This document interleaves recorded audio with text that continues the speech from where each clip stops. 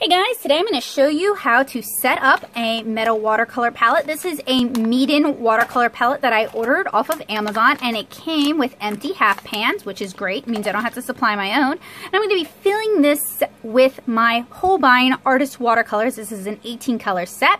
You guys will be able to see the review for this set soon. So we're going to open it up and then show it to you guys. This is a 24 possible color palette. It seems like that one doesn't want to go all the way down. That's okay. That's what I get for being cheap and buying a cheap palette. What these are typically used for is you could put a dot of additional colors in there or you can use them for mixing. Same with this up here. So filling a palette is a little time consuming, but it's actually very easy. I'm also going to be mapping this palette out, but I'm going to do that after these have dried. So I'm going to open up our included half pans. And I'm going to want a fine point permanent marker. This one may have to just be fine enough. And what I'm going to do is on the half pan, I'm going to actually, because these are color coded, I'm going to write the color code on either the side or the bottom.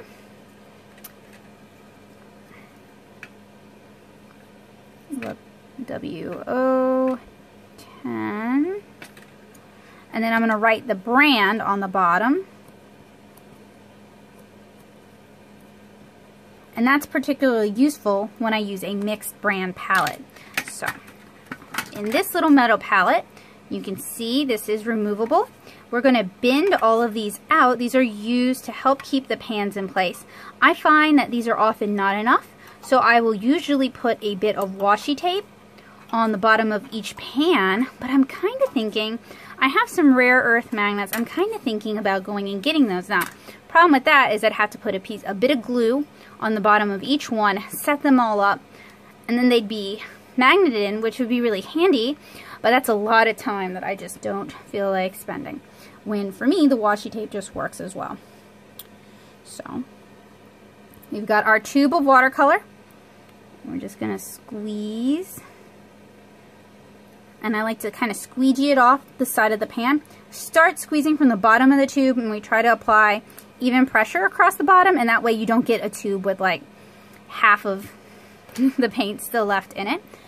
Then we're going to take a piece of washi tape. You can also use double stick tape for this.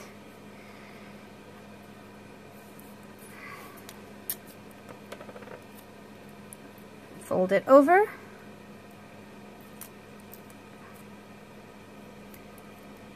And I actually like my colors set up in a certain way, but I'm just going to go ahead and mimic the way this palette has theirs set up. So we've got W012.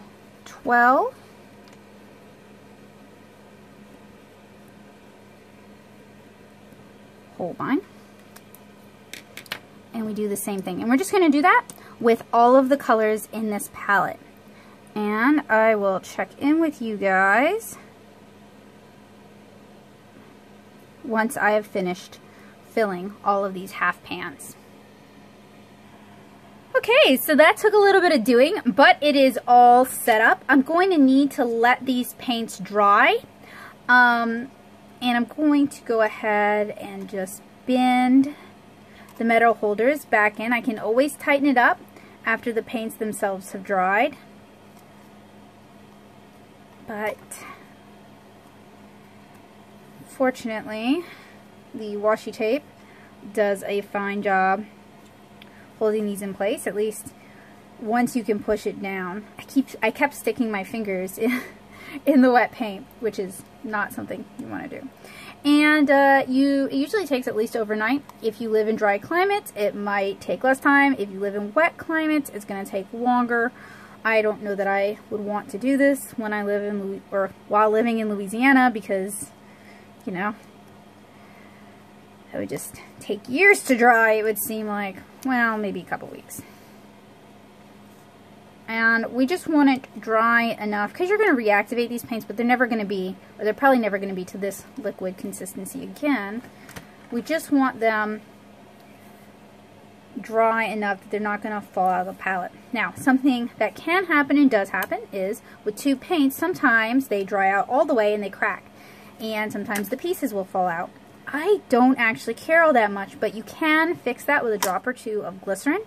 I do find that glycerin can change the properties of the paint itself, so that's something I usually try to avoid. Okay, so I'm going to check in tomorrow and show you guys what the palette looks like dry, but oh, and also uh, talk about cutting a map to size, because you need, I would make a map to go with every palette, and I recommend that you do the same. So I hope you guys found this helpful, useful, and informative, and I hope to see you guys again really soon. Bye, guys! Alright, art nerds, so our watercolors have had a chance to dry out a little bit, and I went ahead and I cut a piece of cotton rag watercolor paper.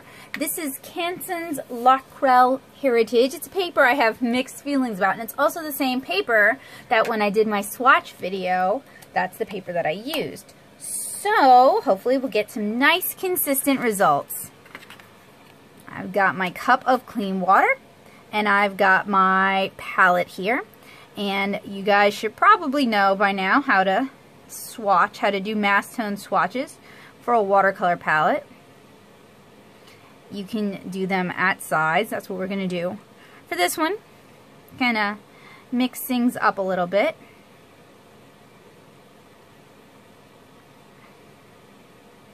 and I'm going for full saturation since when I did the prior video, well, when I did my unbox and swatch video, I did um, like gradiated washes, so mass tone is perfectly fine for our palette map.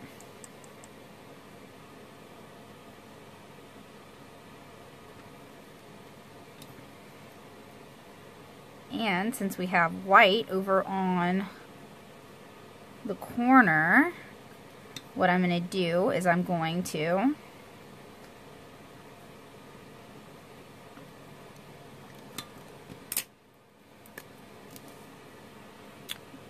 draw a box and I want something a little bit bigger than this. And we'll let that cure for a little bit. So we're going to do the other swatches and come back to the white.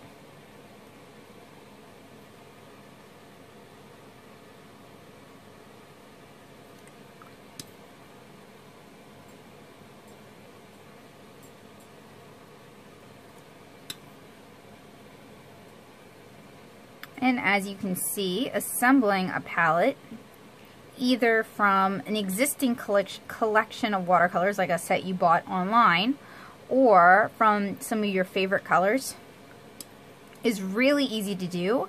And there are lots of inexpensive watercolor sets on Amazon. And you can find a link to the one I'm using in this video in the description below. Or you can just use like um, a pill container and fill that with the colors you like. You really don't even have to use a watercolor palette, but considering how inexpensive watercolor palettes have gotten and how long they hold up and how they protect your paints, I think it's a worthwhile investment.